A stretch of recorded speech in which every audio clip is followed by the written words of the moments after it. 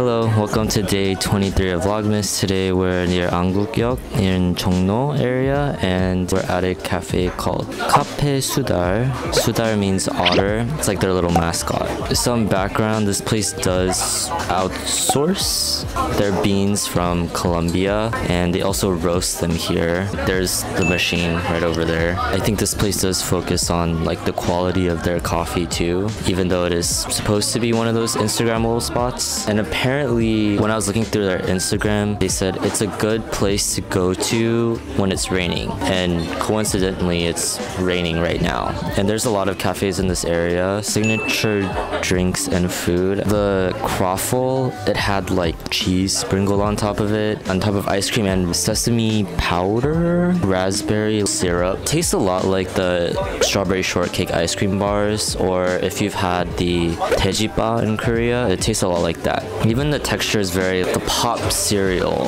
What's the one that's like a rice grain? It's just like plain. Like Rice Krispie cereal. The matcha affogato was pretty basic, honestly. It's just what you'd expect from it. At least it wasn't too sweet, which I appreciated. My drink, it's sweet, but I'm not sick of it sweet. What I like is the sweetness doesn't overpower the coffee taste, and you can still taste the coffee. Like it doesn't give me a headache, which I think is really important. Because why would you order a coffee? It's just gonna taste sweet. You might as well just get like a milk tea. Listen, I love you and all, but shut the I guess. Food was I I think the drinks are definitely their main selling point. I think my drink was the best to be honest. The toffee nut's also pretty good, but the orange Bianco, you can't really taste the orange. It's just like orange pulp. It's like that other place that we went to. No comments. I'm gonna beat your ass. It's okay, we're almost done with this series. Anyway, I think if the food was better, I would give it a 5. 4.75. Work accessibility, I don't see any outlets here.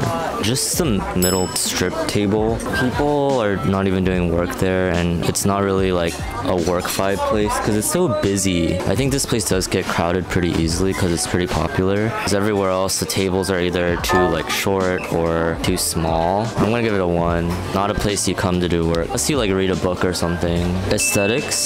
So this place is Hanok themed, but it's also like kind of modern. And it has like records and stuff. Yeah, like vintage Hanok, but modern. They try to put like plants everywhere. It's cute. I like their mascot. That's my favorite thing. Like the design too. And like the silver, like the plates and cups.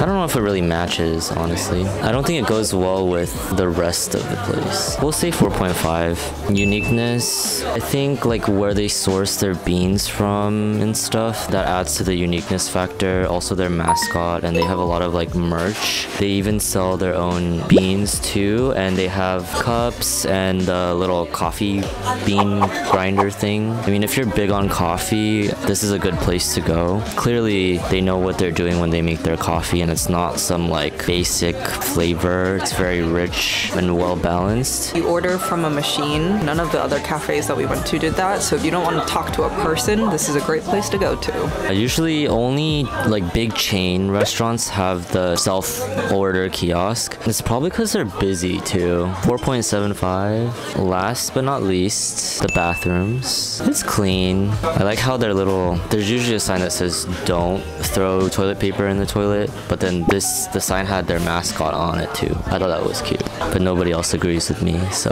This felt so stupid. The girls' bathroom has like a mirror. There's a button where you can turn on the backlighting on the mirror. But it's a very narrow bathroom. You're sitting, your knees are on the wall. We'll settle for 3.5. Phrase modern vintage Hanok. Overall, just a cute place to go if you want to go somewhere. Pretty good drinks, okay food. Take your friends out here. Anything else to add? Ray san? Nope. I don't even know why we take him out to these things. That's why I don't come here. He was forced today. Yeah. No. Just trying to figure out how I can ruin Ray's life. Thank you for tuning in to day 23. Two more days left, and then I'm quitting YouTube. Bye.